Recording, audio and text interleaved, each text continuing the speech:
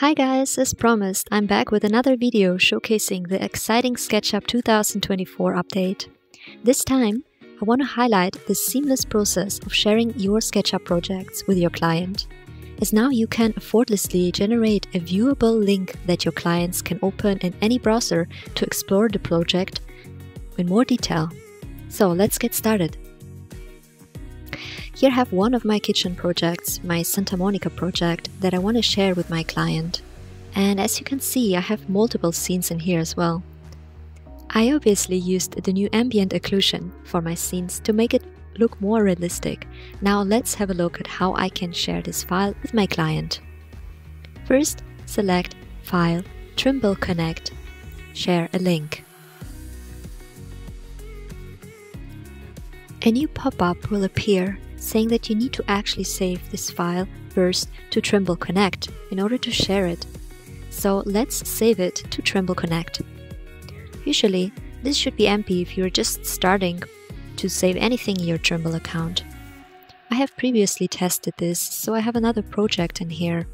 I'm just going to save it inside this one, just as a test. It doesn't matter that much right now, I just want to show you quickly how it's done. So I double click inside the project and save my file. Notice the right symbol on here.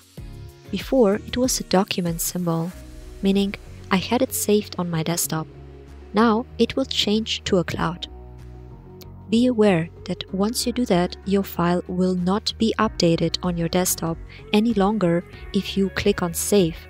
It will be now saved in the Trimble Connect cloud but you can always log in back into your Trimble Connect to download the file if you wish to have it saved on your computer as well. Okay, now that my file is saved in Trimble Connect, another window automatically opened up here where I can simply click on Create a shareable link. Now I can just copy this link, send it to my client, and he can easily view the kitchen project in his or her browser. So this is the file opened in a simple browser. It took a bit of time to load, but once it did, this is exactly what you will get. Let's have a quick look what options we have. We have a select tool. Then, this is nice, the client can actually use the tape measurement tool to recheck some measurements in here as well. Then we have the hand tool, an orbit tool, and some zoom options, and of course the camera position tool you can see it's a view-only version of this file, so your client can't really move or break anything in here. On the right side, under Entity Info, you could let the animation of your scenes play here, even though it is a bit slow for me. I could try another browser, maybe that will speed it up. But, just so you know, you can actually choose different scenes under My Scenes.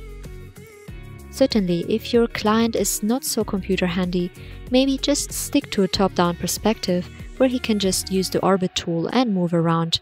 I'm sure he will be already impressed.